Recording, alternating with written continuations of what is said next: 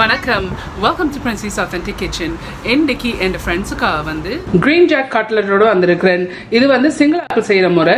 So இந்த பொலஸ் என்று சொல்லுவாங்க. ஸோ இந்த பொலஸ் கட்லட் எப்படி செய்யறேன்னு சொல்லி உங்களுக்கு ஸ்டெப் பை ஸ்டெப் காட்டித்தாரேன்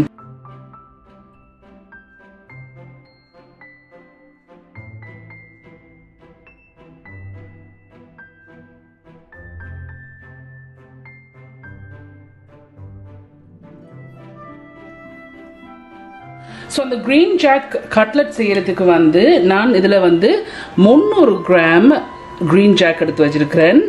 ஸோ இது வந்து ஆக்சுவலி வந்து நான் கேன்லாம் வேண்டியிருக்கிறேன். சொன்னால் இங்கே எனக்கு ஃப்ரெஷ்ஷான நல்லது எடுக்க இயலாது. ஸோ அதால் நான் இன்றைக்கு இதை கேன் கேனில் வேணதான் எடுத்திருக்கேன். ஒரு கேன் எடுத்து அதை வடிச்சிட்டு நல்லா கழுவி வச்சிருக்கிறேன். ஸோ இதில் முந்நூறு கிராம் வருது. ஆனால் நீங்கள் ஃப்ரெஷ்ஷான யூஸ் பண்ணுறீங்கன்னு சொன்னால் ஈவன் பெட்டர் ஃப்ரெஷ்ஷான வேணுன்னு சொன்னால் நீங்கள் இதை வந்து வெட்டி போட்டு தோலெல்லாம் வெட்டி போட்டு நல்லா க்ளீன் பண்ணி போட்டு அதை ஸ்டீம் பண்ணி எடுக்கணும். ஸோ நான் கேன் யூஸ் பண்ணுறபடியாக இது ஏற்கனவே வந்து கேனில் வந்தபடியாக குக் பண்ணியிருக்கு. ஸோ அதால் வந்து இது நான் சாப் பண்ணி எடுக்க போகிறேன் சின்ன சின்ன பீஸாக உங்களுக்கு வேணுமென்று சொன்னால் இது கிரைண்டரில் போட்டு எடுக்கலாம். ஆனால் நான் சின்ன சின்ன வெட்டுறதுக்கு காரணம் வந்து அப்போ தான் கடிப்படைக்கு நல்ல டேஸ்ட்டாக இருக்கும் அந்த சின்ன சின்ன பீசஸ் இருந்தால் ஸோ இதில் முந்நூறு கிராம் க்ரீன் ஜாக் எடுத்து வச்சுருக்கேன். இப்போ இதை நான் வெட்ட போகிறேன் ஸோ ஃபைனான பீஸாக வந்து நான் இதை சாப் பண்ணி எடுக்க போகிறேன்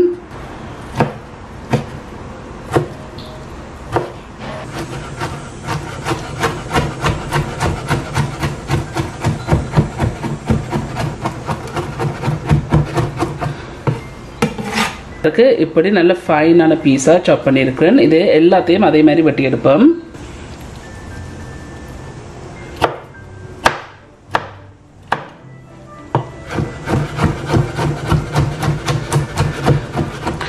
கேனில் வரபடியாக இதை வந்து நீங்கள் ஸ்டீம் பண்ண தேவையில்லை அவைக்க தேவையில்லை. ஸோ இதை டிரெக்டாகவே நீங்கள் யூஸ் பண்ணலாம். ஆனால் நீங்கள் பச்சை யூஸ் பண்ணுறேன்னு சொன்னால் அதை டபுள் ஸ்டீமரில் போட்டு ஒரு இருபது இல்லை முப்பது நிமிஷம் ஸ்டீம் பண்ணி போட்டு இந்த காட்டில் நீங்கள் செய்திருக்கலாம். கிரைண்ட் பண்ணிங்கன்னு சொன்னால் கிரைண்ட் பண்ணலாம். பட் கிரைண்ட் பண்ண நீங்கள் சொன்னால் கொஞ்சம் களி ஆயிரும். ஸோ அதால் நான் வெட்டி எடுக்கிறேன்னா இந்த பைட் சைஸ் பீசஸ் இருக்கிறதுக்கு.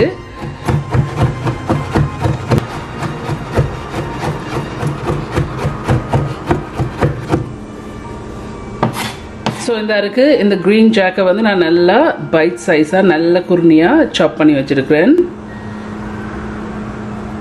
ஸோ நான் கட்லெட்டை வந்து துவைக்கிறதுக்கு வந்து இதில் ஒரு பிரம்மான ஒரு பவுல் எடுத்துருக்கேன் எடுத்து வச்சுக்கொண்டு இதில் ஆல் பர்பஸ் ஃப்ளா இருக்குது.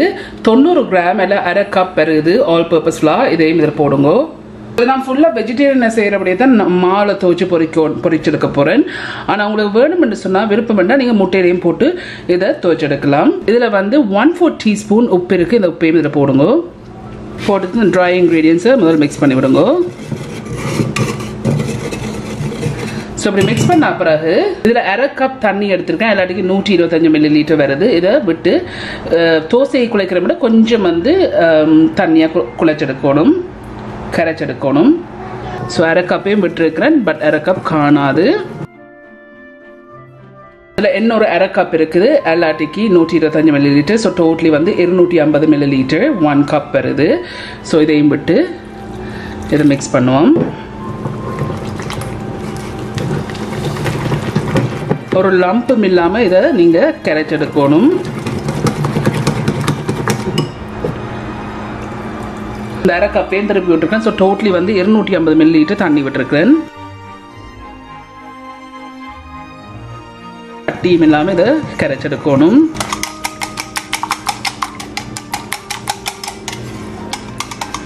இந்த கரைச்சிருக்கிறேன். இந்த பொலஸ் கட்டில் செய்கிறதுக்கு வந்து நான் இதில் மண் சட்டி எடுத்து வச்சுருக்கேன். வச்சுட்டு ஹீட்டை வந்து மீடியம் ஹீட்டில் வச்சுருக்கேன். மீடியம் ஹீட்டில் வச்சுக்கொண்டு இதில் வந்து எண்ணெய் இருக்குது. Two and half tablespoon எண்ணெய் இருக்குது. இந்த எண்ணெய் இதில் விடுங்கோ. இப்போ இதை விட்டுட்டு இந்த எண்ணெயை கொஞ்சம் கொதிக்க விடுவோம். ஸோ இந்த எண்ணெய் வந்து கொதிச்சுட்டு கொதிச்சா பிறகு இதில் வந்து உள்ளிப்பூடி இருக்குது. மூன்று உள்ளி எல்லாட்டிக்கு பதினெட்டு கிராம் வருது நான் வெயிட் பண்ணி பார்த்ததுல. இப்போ இந்த எண்ணெய் கொதிச்சா அப்புறம் இதை இதில் போடுங்க. இதில் வந்து சின்ன பீஸ் இஞ்சி இருக்குது. எல்லாட்டிக்கு மூன்று கிராம் வருது அதையும் எடுத்து சின்ன சின்ன வட்டி இருக்குது இதையும் இப்போ இதில் போடுங்க. போட்டு ஒரு ஒரு நிமிஷம் மாதிரி இந்த எண்ணெயில் இதை வதங்க விடுவோம். இப்போ ஒரு நிமிஷமாக இது வதங்கி கொண்டிருக்குது. இப்போ அந்த ஒரு நிமிஷத்துக்கு பிறகு இதில் வந்து வெங்காயம் எடுத்து சின்ன சின்ன சாப் பண்ணி வச்சுருக்கிறேன். இருநூறு கிராம் எல்லாத்துக்கு ரெண்டு மீடியம் வெங்காயம் இருக்குது இப்போ இதையும் இதில் போடுங்க. இதில் வந்து சின்ன பச்சை மிளகாய் இருக்குது நான் அஞ்சு சின்ன பச்சை மிளகாய் எடுத்துருக்கேன் உங்களோட உரைப்புக்கு ஏற்ற மாதிரி நீங்கள் போடுங்க. இதையும் சின்ன சின்ன சாப் பண்ணியிருக்கேன் இதில் வந்து ரெண்டு காம்பு கருவேப்பிலை எடுத்து சின்ன சின்ன இதையும் பட்டி இருக்கேன் இதையும் இப்போ இதில் போடுங்க. போட்டு இதை மிக்ஸ் பண்ணி போட்டு இதை மூன்று நிமிஷம் பதங்க விடுவோம்.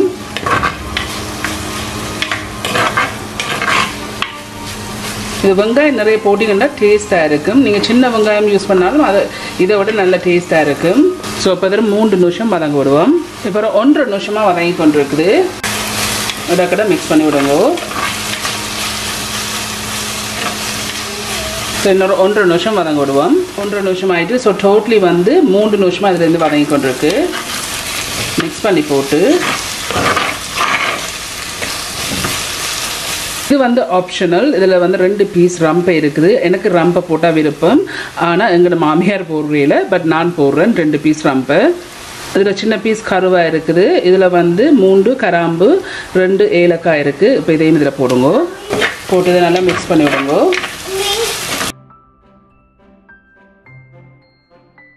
ரம்பெல்லாம் போட்ட அப்புறம் ரெண்டு நிமிஷம் வதங்க விட போகிறேன் ஸோ இப்போ ரெண்டு நிமிஷமாக வதங்கி கொண்டு இருக்குது இதை மிக்ஸ் பண்ணி போட்டு.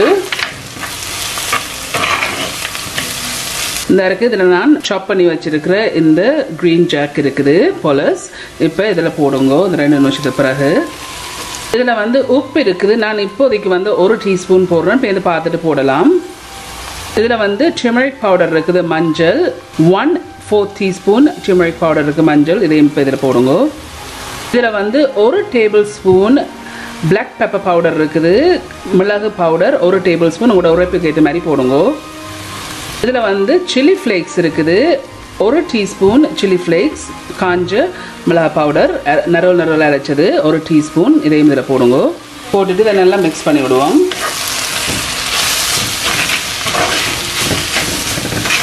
உங்களுக்கு விருப்பம்னு சொன்னால் நீங்கள் பிளெயின் சில்லி பவுடரும் போடலாம்.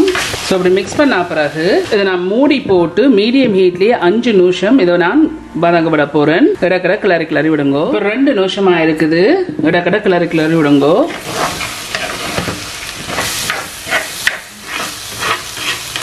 திருப்பி மூடி போட்டு இன்னொரு மூணு நிமிஷம் இதை வதங்க விட போகிறேன் ஸோ இப்போ இன்னொரு மூணு நிமிஷமாக இருக்குது ஸோ டோட்டலி வந்து ஃபைவ் மினிட்ஸாக இதுலேருந்து வதங்கி கொண்டிருக்கு இதை மிக்ஸ் பண்ணி விடுங்கோ.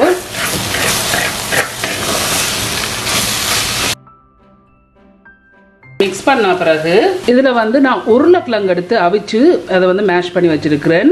இதில் வந்து மூன்று மீடியம் உருளைக்கிழங்கு எல்லாட்டிக்கு நானூற்றி பத்து கிராம் வருது அவிச்சு இதை மேஷ் பண்ணியிருக்கிறேன். ஸோ இப்போ இந்த அஞ்சு நிமிஷத்துக்கு பிறகு இதில் போடுங்க. ஸோ இதையே நல்லா மிக்ஸ் பண்ணி விடுங்க.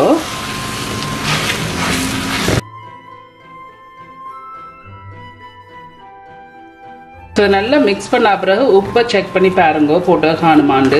நல்லா மசிச்சு மசிச்சு இதை கிளறி விடுங்க. நான் இதை மீடியம் ஹீட்லேயே வந்து இன்னொரு அஞ்சு நிமிஷம் இதுலேருந்து அவியோட போகிறேன் இடக்கடை வந்து கிளறி கிளறி விடுங்க. ஸோ அப்புறம் மூன்று நிமிஷமாக இருக்குது. இடக்கடை கிளறி கிளறி விடுங்க.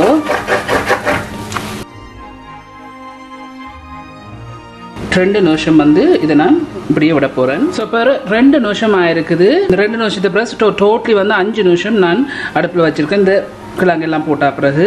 இப்போ நான் அடுப்பை ஆஃப் பண்ணிட்டேன். இதை மிக்ஸ் பண்ணி போட்டு ஆக்சுவலி இதில் இருக்கிற அந்த ரம்ப் பீஸ் நான் போட்டு ரெண்டு பீஸ் அதை வந்து ரிமூவ் பண்ணி விடலாம் இனி. இந்த இருக்குது ஸோ நான் போட்ட ரெண்டு ரம்பையும் வந்து ரிமூவ் பண்ணியிருக்கிறேன்.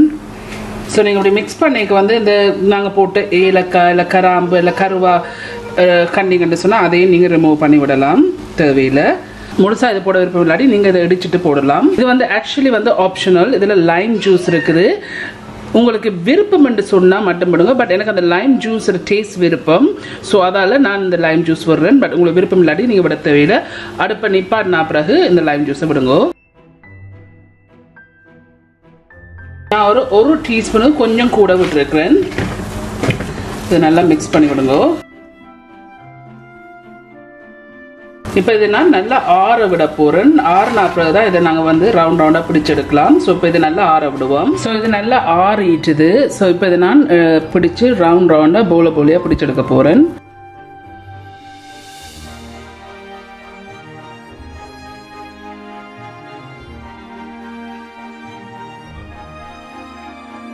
நான் ஒரு செப்பரேட்டான பிளேட்டில் இதை நான் பிடிச்சி பிடிச்சி எடுக்க போகிறேன்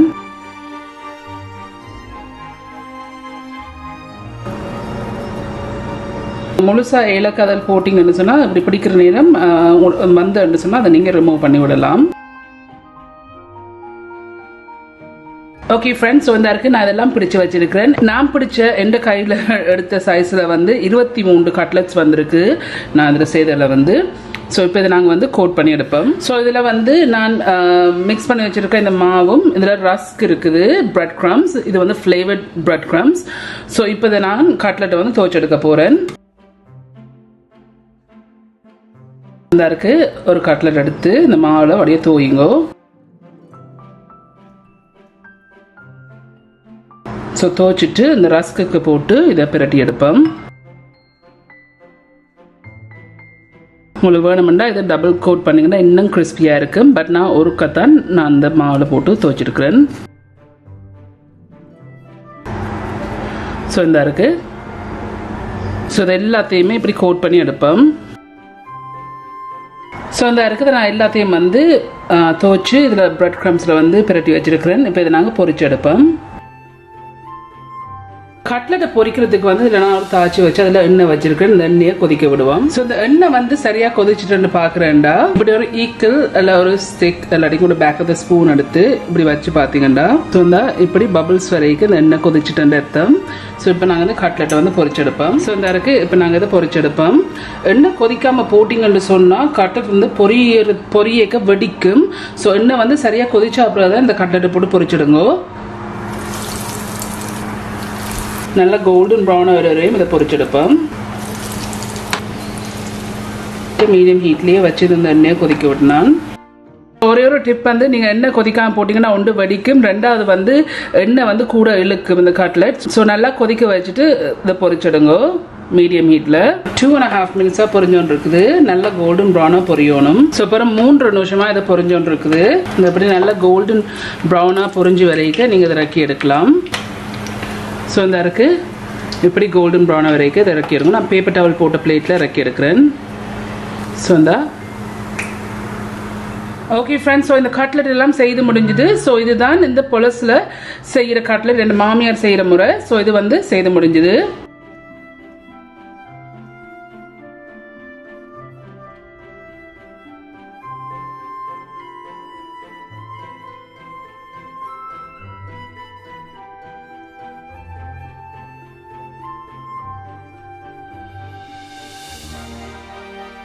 நல்ல டேஸ்ட்டாக வந்திருக்கு. கண்டிப்பாக நீங்கள் எல்லாரும் ட்ரை பண்ணி பார்த்து எப்படி இருக்குன்னு சொல்லி உங்களுக்கு காமெண்ட்ஸில் கீழே விடுங்க.